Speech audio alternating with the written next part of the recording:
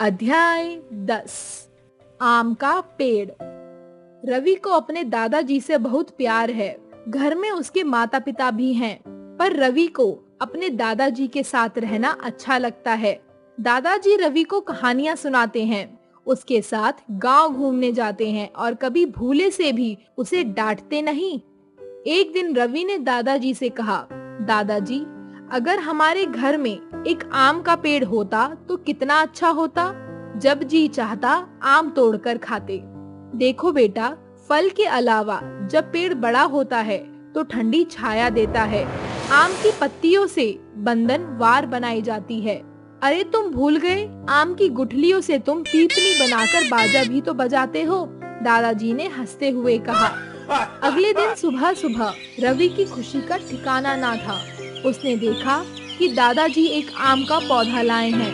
वे बोले, रवि, तुम्हारे लिए आम का पौधा ले आया हूँ।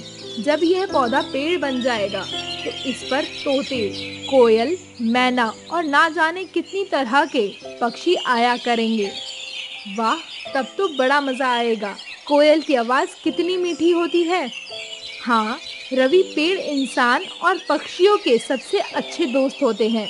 पक्षी तो पेड़ों पर ही बसेरा करते हैं।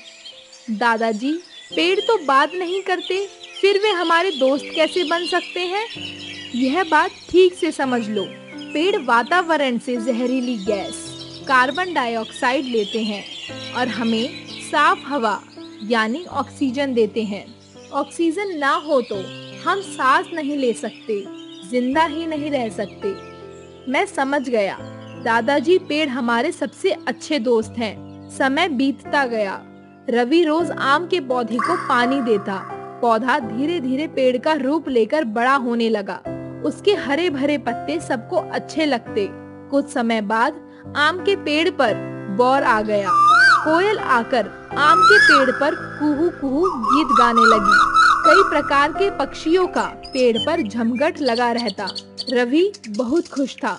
पर तभी दादाजी ने गाँव जाने का निश्चय कर लिया। रवि अब आम के पेड़ के नीचे बैठकर पाठ याद करता। रवि के पिता को एक परेशानी थी।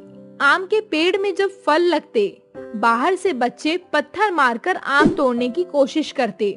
रोज रोज की इन घटनाओं से तंग आकर रवि के पिता ने आम का पेड़ कटवाने का निश्चय कर लिया। एक दिन पेड़ काटने वाले कुल्हाड़ी लेकर आ गए।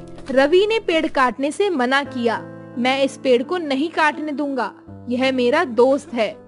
वह पेड़ के तने से लिपट गया और रोते हुए बोला, पिताजी, इसे मत कटवाओ, यह पेड़ हमारा दोस्त है। सारी जहरीली गैस लेकर यह हमें साफ़ हवा देता है, ठंडी छाया और मीठे फल देता है। बदले में हमसे कुछ भी नहीं लेता। रवि ने पेड़ के तने को प्यार से सहलाया और रोते रोते हिचकियाँ लेने लगा। माँ सोचने लगी रवि कहता तो ठीक है ये पेड़ तो बस हमें देते ही हैं, लेते कुछ नहीं ये दाता हैं। फिर क्यों ना रवि की बात मान ली जाए? तुम ठीक कहते हो रवि अब मैं आम का पेड़ नहीं कटने दूँगी। साथ ही हम अमरूद और लीची के पेड़ भी आँगन में लगवाएँगे। हाँ बेटा हम गलती कर रहे थे पेड़ सचमुच हमारे दोस्त हैं।